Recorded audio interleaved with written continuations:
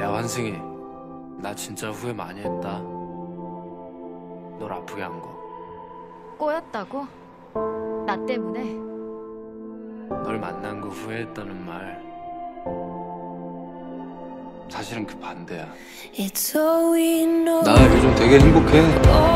애들 가르치는 것도 너무 즐거워 그게 다 네 덕이야. 네가 있어줘서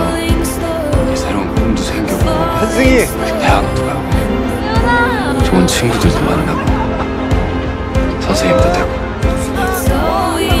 네가 옆에 있어줘서. 이렇게 바뀐 거야 대책 없이 살 뻔한 너 네가 사람 만들어줄 거야. 내 인생에. 불쑥 나타나줘서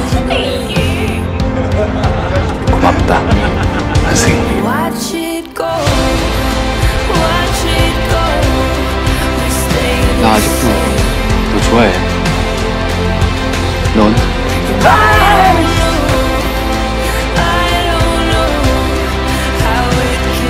우연아. 나도 너랑 있으면 편하고 좋아. 근데 됐어 너 지금 어릴 때 감정 붙잡고 나한테 고집 피우는 거야. 나 네가 생각하고 바라는 어릴 때 그 여자가 아니라고.